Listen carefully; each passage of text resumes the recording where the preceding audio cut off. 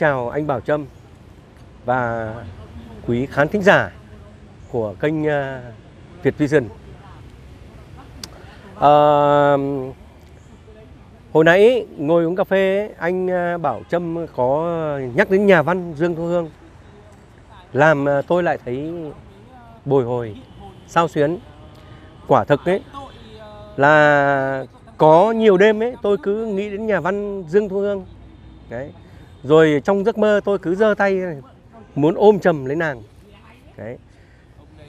Bởi vì Dương Thu Hương ấy là một nhà văn ấy, nổi tiếng. Ấy mà tôi thích những người nổi tiếng. Lại lại đang à, sinh sống ở Pháp.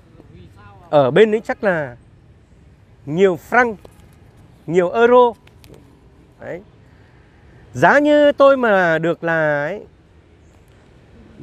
bạn với lại Dương Thu Hương ấy thì cuộc sống của tôi nó sẽ khá lên và biết đâu ấy lại bảo lãnh cho tôi sang ờ, sang Pháp. Đấy. Nhưng mà cái quan trọng là gì? Tôi rất thích những người nổi tiếng. Ví dụ như Trần Ních Tắc cũng rất nổi tiếng đúng không? À, Lê Chiêu Thống cũng rất là nổi tiếng. Đấy. Nói đến uh, Trần Ních Tắc Lê Chiêu Thống ai cũng biết. Thì Dương Thu Hương chưa nổi tiếng bằng à, có lẽ những ai ờ, đọc nhiều thì mới biết đến Dương Thu Hương thôi.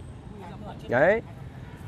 Thế thì nhân à, nói đến à, Dương Thu Hương ấy tôi có tiết lộ. Thế thì tôi nói tiếp. Đấy. thì à, khi giải phóng miền Nam ấy nhà văn Thu Hương ấy có viết rằng ấy là chị ta ấy, vào uh, miền Nam thì chị ta ấy ngỡ ngàng vì nền kinh tế miền Nam ấy nó gấp nhiều lần miền Bắc. Và chị ta nói rằng ấy, thế thì ai giải phóng ai? Đấy. Và chị ta nói rằng ấy là chị ta đã bị lừa. Đấy. Có nghĩa rằng ấy ý của chị ta ấy là 21 năm kháng chiến chống Mỹ cứu nước ấy, là bộ đội ta đã hy sinh vô nghĩa vì bị lừa. Vì cái nền kinh tế miền Nam ấy nó gấp nhiều lần uh, nền kinh tế miền Bắc. Thế thì uh, xưa nay ấy, là là là tôi chưa có dịp nào để uh, nói lên cái quan điểm của tôi về cái cái cái cái cái, cái phát biểu của nhà văn Dương Thu Hương. Hôm nay ấy, là ở quán cà phê hồi nãy anh Bảo Trâm có nhắc đến nhà văn Dương, Thu Hương thì nhân dịp này đấy, tôi sẽ nói về vấn đề này. Hùng Trần ấy, Dương Thu Hương ờ, sang Pháp chưa chết. Ừ. Vấn đề trịch thôi. Vâng. Còn bậy bạ lắm. Rồi. Nói tiếp tục. Mời anh. Bây giờ ấy, nhà văn Dương Thu Hương đang ở Pháp. Hãy lắng nghe tôi nói nhé. Đấy. Thưa nhà văn Dương Thu Hương, ngày xưa ấy, miền Bắc nghèo lắm. Đấy. Ờ, bởi vì sao? miền Bắc nghèo ấy là bởi vì lao động chính ấy là thanh niên ấy thì đi hết ra chiến trường. Ở nhà ấy chỉ có phụ nữ đeo súng, phụ lão đeo súng đi cày, đi cấy. Thế thì làm sao mà giàu được? Đúng không ạ? Đấy.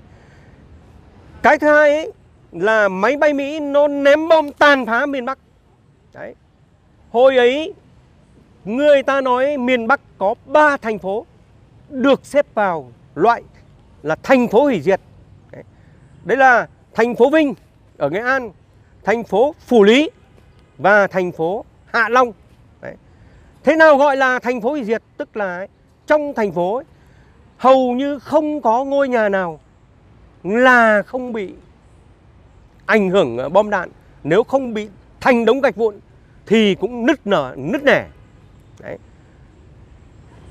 Đấy là máy bay Mỹ nó ném bom tàn phá miền Bắc. Máy móc thì phải sơ tán lên rừng. Đấy. Rồi sản xuất ở trong hang đá. Thế thì làm sao mà giàu được? Đấy. Thế rồi ấy, tất cả cho tiền tuyến, tất cả vì miền Nam ruột thịt. Đấy lương thực thực phẩm ấy dồn hết ra chiến trường Đấy. cho nên mới, mới, mới, mới, mới khan hiếm thì mới phải tem phiếu Đấy. Ờ, như vậy ấy, là vì máy bay Mỹ ném bom tàn phá miền Bắc vì miền Bắc hy sinh đấy. Dồn hết nhân lực, vật lực ra chiến trường để đánh đuổi đế quốc Mỹ, giành lại độc lập tự do. Đấy. Hòa bình và thống nhất cho đất nước. Đấy là cái sự nghèo mà là cái sự hy sinh cho lịch sử dân tộc. Ở đây có bạn Hoàng Đăng này anh Quang em bảo Trâm thì nghĩ là bạn nói có lý bạn Hoàng Đăng cho rằng Việt Nam nghèo ấy ờ, phần lớn là do chính sách kinh tế thôi là chính tôi lớn lên ở thời kỳ đó kỳ này nên là không nên đầu độc tính giả thực ra anh Quang Trường Nhật nói không hẳn là sai nhưng mà cũng chưa thực, thực sự chính xác lắm cái thời kỳ đầu ấy, thì đúng à, anh ấy đang nhầm hai thời kỳ rồi về sau tôi đang nói thời kỳ chiến tranh thời kỳ chiến tranh ở đây là anh Ừ. Trần Quang anh nói thời kỳ chiến tranh thì cái bà tại vì bình bình, gì có máy bay mỹ tàn phá cái anh này đúng là không nghe từ đầu còn còn Ừ. à, anh Hoàng Đăng thì cho rằng là chính sách chính sách là sau này sau khi mà năm 76 thống nhất đất nước ấy thì mình bị chìm dài một khá dài một thời gian là bao cấp. 10 năm ấy, Dạ. đến, đến năm 86 ấy. chào ừ. à, hồi nãy cái uh, livestream có một uh, khán giả nào nói là tôi nói sai. Miền bắc nghèo là do chính sách kinh tế. Đấy. Là anh khán giả ấy là gọi là tay nhanh hơn não nhá chính sách kinh tế gì? Đang đánh mỹ, nhá. Ừ, ờ, máy bay mỹ nó đang ờ, tàn phá miền bắc. Mà nói đến chính sách kinh tế gì? Đúng là tay nhanh hơn não. Tức là tôi đang nói về trong cuộc kháng chiến chống mỹ cứu nước. Miền bắc nghèo lắm. Đấy. Mà cái nghèo ấy là cái nghèo ấy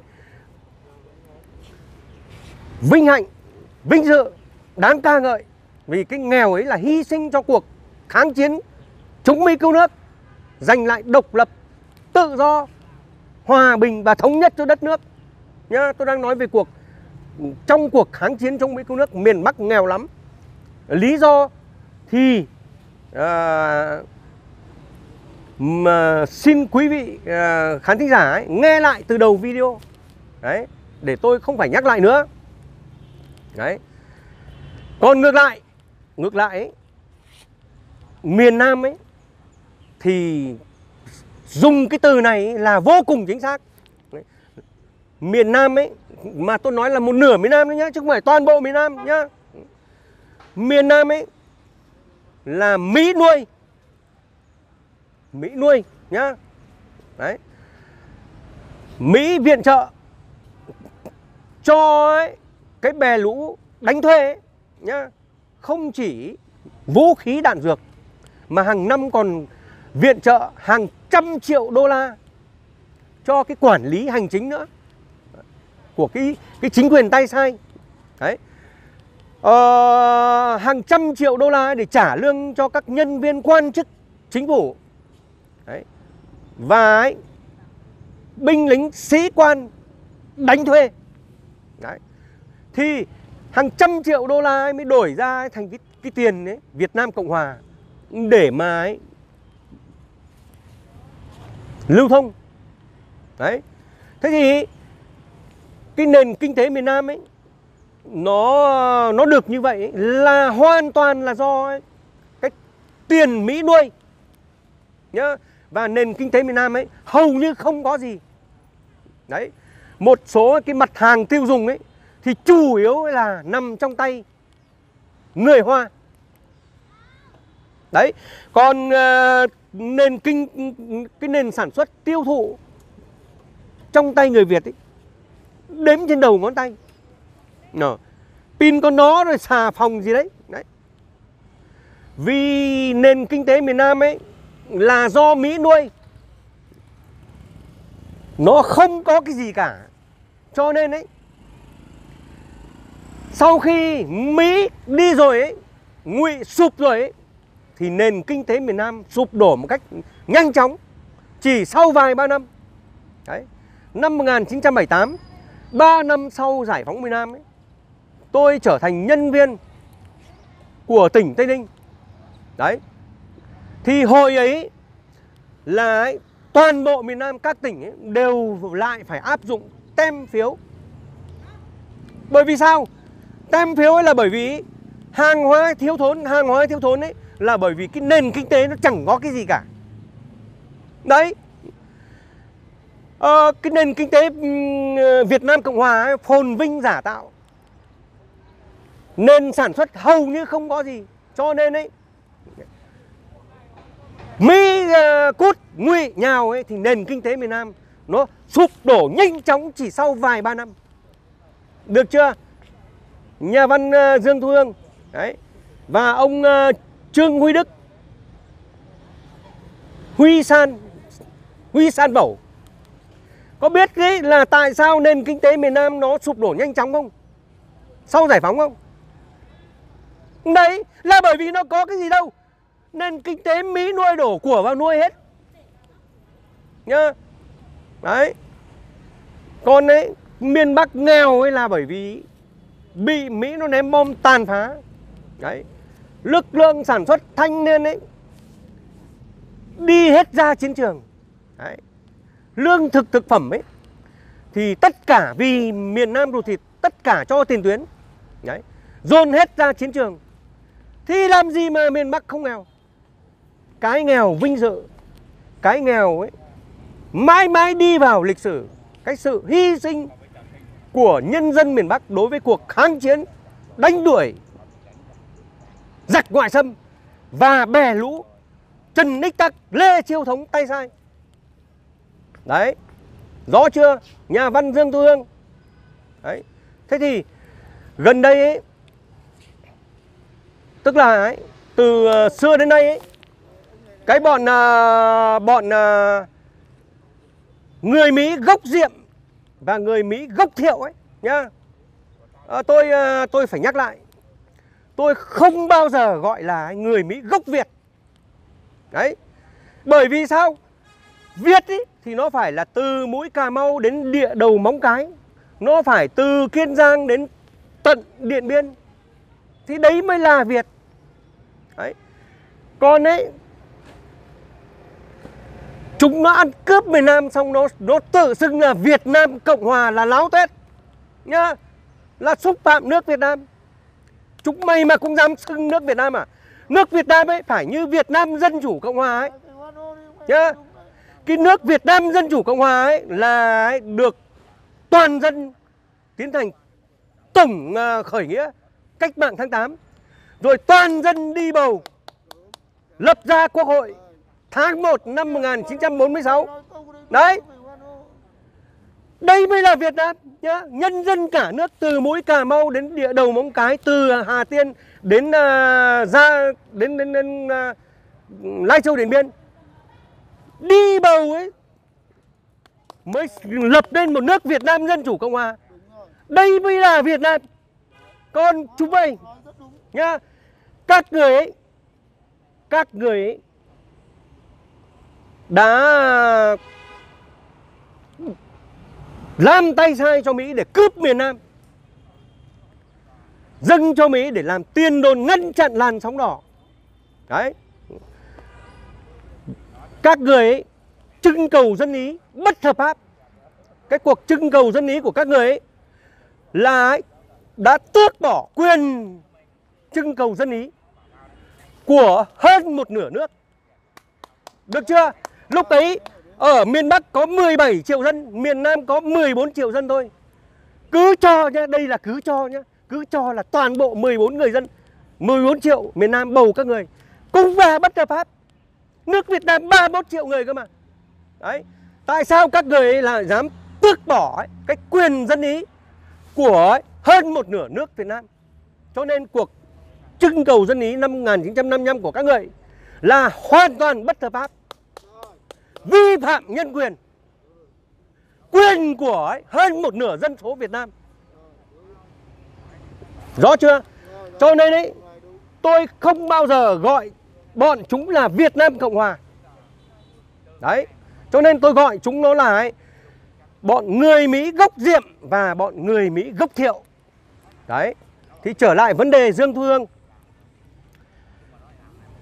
Từ ngày đất nước thống nhất đến nay 47 năm rồi ấy, cái bọn người Mỹ gốc Diệm và người Mỹ gốc Thiệu ấy chúng không ngừng xuyên tạc. Đấy. Cái cuộc kháng chiến chống Mỹ cứu nước chúng thường đăng lên ấy, mạng xã hội, nhất là Facebook ấy. Đấy. Những cái hình ảnh ấy Sài Gòn ấy là có nhiều xe hơi, Sài Gòn ấy có nhiều uh, xe máy. Và chúng nói chúng nói ờ, nói rằng ấy đấy, Sài Gòn hoa lệ thế này thì cần gì giải phóng? Nói nói y hệt như Dương Thu Hương. Đấy. Thế nhưng ấy tôi à, tôi có viết một cái bình luận của tôi ấy, ở trên Facebook của tôi ấy. đấy. Thì à, trước hết ấy, tôi muốn nói với Facebook thế này này. Đấy. trong văn học ấy người ta có thủ pháp so sánh ví von. Nhá. Đấy. Mà Facebook lại chặn tôi 30 ngày. Là các ông ấy các ông không hiểu gì về cái thủ pháp ví von so sánh ở trong mạng xã hội. Nhá. Đấy. À, và YouTube cũng vậy nhá. Sau đây tôi nói nhá thì YouTube cũng phải hiểu ấy đây là thủ pháp ví von so sánh. Đấy. Tôi không bảo người Sài Gòn là châu bò lợn gà. Tôi có nói thế đâu. Nếu tôi nói người Sài Gòn là châu bò lợn gà ấy Thì đấy là ấy, tôi vi phạm tiêu chuẩn cộng đồng. Đấy, Vì vì ấy là miệt thị người khác. Đấy. Nhưng ấy, nhưng mà tôi có nói là người Sài Gòn là châu bò lợn gà đâu. Mà tôi nói rằng ấy Nhìn cái hình ảnh ấy, Sài Gòn hoa lệ ấy, Tôi liên tưởng đến Châu bò lợn gà. Tôi liên tưởng đến cơ mà chứ tôi có bảo là họ là châu bò lợn gà đâu. Đúng không ạ? Đấy đây là thủ pháp ví von so sánh trong văn học nhá. Nhìn cái bức ảnh Sài Gòn hoa lệ Có nhiều xe hơi Nhiều xe máy Thì tôi liên tưởng đến ấy Những cái con uh, trâu, con bò, con lợn, con gà Tôi liên tưởng. Chứ tôi không bảo họ là là người Sài Gòn là trâu bò lợn gà nhá. Tôi nhắc lại Đấy. Tôi liên tưởng đến ấy, trâu bò lợn gà mà chúng ta cứ hay gọi là gia súc gia cầm ấy. Đấy. Ở cái, cái chỗ nào? Ở cái chỗ là ấy trâu bò lợn gà gia súc gia cầm ấy nó chỉ biết ăn thôi và nó chỉ thích ăn thôi. Chứ trâu bò lợn gà ấy, gia súc gia cầm nó có biết gì là độc lập tự do hòa bình thống nhất đất nước đâu. Đấy. Vì vậy cho nên đấy các người đăng cái hình ảnh Sài Gòn hoa lệ lên đấy, làm tôi liên tưởng ấy đến đấy gia súc gia cầm, trâu bò lợn gà. Chỉ biết ăn, thích ăn, chứ không biết gì độc lập tự do, hòa bình thống nhất đất nước. Đấy. Và cái bài viết của tôi ấy bị Facebook chặn. Bây giờ Facebook đã thấy sai lầm chưa? Tôi không bảo người Sài Gòn là trâu bò lợn gà. Tôi nói thế thì tôi mới vi phạm. Còn nếu tôi dùng thủ pháp ví von so sánh. Đấy, tôi bảo là tôi nhìn cái hình ảnh ấy, tôi ờ, liên tưởng đến châu bò lợn gà, chứ tôi có bảo người Sài Gòn là châu bò lợn gà đâu. Vì vậy YouTube và Facebook cũng phải chấp nhận cái thủ pháp ví von so sánh ở trong văn học. Và phải biết rằng ấy, là tôi không hề vi phạm tiêu chuẩn cộng đồng khi tôi sử dụng thủ pháp ví von so sánh. Vậy mà ấy tôi viết cái bài ấy, tôi đăng ấy, tôi đăng ấy, hình ảnh ấy, Sài Gòn ấy, xong rồi tôi ờ, tôi ờ, đặt tiêu đề lại trại chăn nuôi gia súc gia cầm của USA tức Hoa Kỳ. Đấy. Thế mà lại chặn tôi 30 ngày. Đấy. Thế thì bây giờ ấy Dương Thu Hương nhá. Đấy. Rồi uh, Trương Huy San, Huy Đức Vẩu nhá. Rồi các người người Mỹ gốc Diệm, người Mỹ gốc Thiệu. Đấy. Từ nay có dám đấy, mở miệng ra nói rằng ấy, miền Bắc nghèo ấy, đấy. và miền Nam ấy thì giàu nhá cái giàu nhục nhã và còn cái nghèo ấy ừ, là ấy, hy sinh cống hiến cho lịch sử dân tộc rất vinh quang rất đáng uh, ghi vào mãi mãi vào lịch sử cái sự hy sinh nghèo của của nhân dân miền Bắc cống hiến cho cho đất nước cho lịch sử dân tộc. Đấy. Thế còn à, các bạn trẻ nhé từ nay ấy, các bạn ấy mà cứ thấy bọn người Mỹ gốc diệm người Mỹ gốc thiệu ấy, nó lại đăng ấy, cái cái cái bức ảnh Sài Gòn đấy đấy hoa lệ đấy. Thì các bạn cứ comment như tôi nhá. Đấy. các bạn cũng cứ dùng cái thủ pháp so sánh nhá. Đấy. Là nhìn thì tôi lại liên tưởng đến đấy trâu bò lợn gà gia súc gia cầm xong mở ngoặc các bạn cứ mở ngoặc. Tôi không bảo người Sài Gòn là chấm chấm chấm chấm. Đấy. Các bạn cứ comment như thế. Nó cứ thò ra một cái cái nào các bạn lại cứ đập lại như thế. Nhá. Đấy. Thì rồi sẽ đến lúc ấy là chúng nó phải ngậm đắng nuốt cay mà bỏ cái luận điệu ấy đi. Đấy. Xin cảm ơn uh, quý uh, khán thính giả Việt Vision đã lắng nghe. Mà lòng người rất động trong lòng người từng đã sống trao